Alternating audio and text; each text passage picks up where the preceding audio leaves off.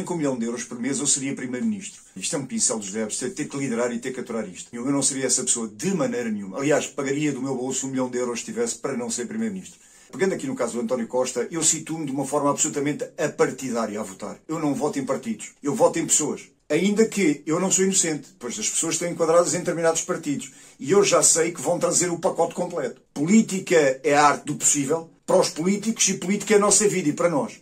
Portanto, eu decido consoante o que acho melhor, o que é possível. Por exemplo, tenho grande afinidade com António Costa. O gajo tem ali uma hora, passa uma energia muito bacana. A par do jogo político. O Costa é isso que me passa. Não é inocente em termos políticos e naquela posição tem que ser um ser humano de consensos. Há uma estrutura de valores na minha vida e esses valores não são negociáveis. Onde é que estão as nossas fronteiras? Como é que isto funciona? Nós sarrazinamos da cabeça. Nós picamos-te como um touro ferido. Tu tens de ter postura de Estado, tens de aguentar à bomboca. E ele aguentou-se à bomboca dois mandados. E chegou à conclusão de dizer o seguinte: querem saber? Eu estou cansado desta porra. Eu já contribuí para o processo. Eu desta vez vou revelar mesmo esta porra. Fecha a porta e diz assim: não, não, eu vou-me demitir. Porque os meus valores, os meus pilares estão hipotecados. Uma vénia para o que ele aguentou uma democracia que já não é muito sólida, uma economia que já não é muito sólida, que já é mais líquida que sólida, vê-se a passar de líquida à gasosa. A oposição tem de fazer isso e nós temos que entreter neste jogo constante da treta. Que o outro fez e o outro disse, e eu disse, e o outro disse, e a oposição disse, e espetou-lhe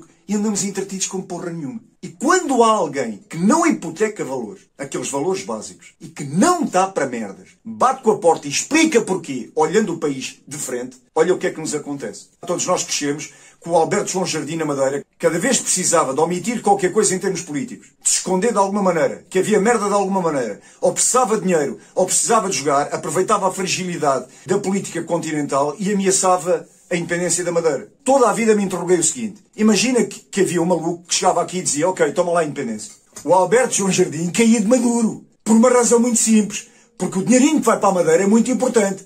É mais do que justo os madeirenses são portugueses. E isto seria uma estupidez impensável. O Alberto João Jardim fazia isso de uma forma instituída isto era impensável. O que fizeram ao Costa, supostamente ele não faria o que fez, mas fez. E eu admiro até pela forma como fez. Ainda que essa porra me caia em cima da cabeça como cidadão português. Porque isso interferiu nos quatro ou cinco pilares que ele tinha. Este homem que se demitiu tem uma carga construída tremenda, uma pedra preciosa. Não é por dar cá aquela palha. Não é pelo jogo da treta. É mais um elefante que foi. São poucos, poucos, poucos, poucos. Com capacidade, com bom andamento. Saiu um primeiro-ministro e vai para lá um primeiro-ministro. Portanto, em termos de números, é o mesmo volume. Um elefante vivo não é a mesma coisa do que eu ter um elefante de plástico. A gente na fábrica constrói 30 milhões de elefantes de plástico. E não vamos repovoar a savana africana com elefantes de plástico. O elefante vivo tem um pulsar de 100 anos, 90 anos, de 80 anos, sei lá quantos anos é que isso tem. Percebem a preciosidade, a raridade do que está ali. E a forma como a gente, de uma forma volátil, absolutamente superficial, absolutamente decisões de birra de crianças, a gente muda isso. Qual é a consequência da falta de responsabilidade nesse tipo de ação?